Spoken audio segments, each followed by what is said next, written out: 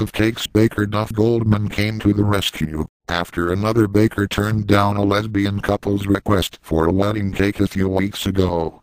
Leslie Mann's birthday cake dress at the Critics' Choice Awards is giving us a fash. The cake baking aficionado reached out to the couple via Twitter Monday after seeing the betrothed duo's story in the Huffington Post. The site featured a local TV news story about an Oregon bakery owner turning the two women away because of his own religious beliefs. They've made a choice to do what they are doing, owner Aaron Klein said in the NBC affiliates clip. I'm making a choice not to be a part of it. After reading about the story, Goldman tweeted the Huffington Post, asking to be connected with the couple so he could bake them the cake and transport it to them for free. Victor Garber confirms he's gay, living with longtime partner Rainer Andreesen.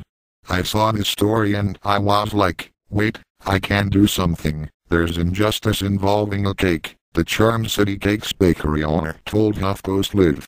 For a cake decorator to really feel like he really needed to take a stand ellipsis points it just makes absolutely no sense, Goldman continued. It's petty, it's small. But providing the couple with some sweets?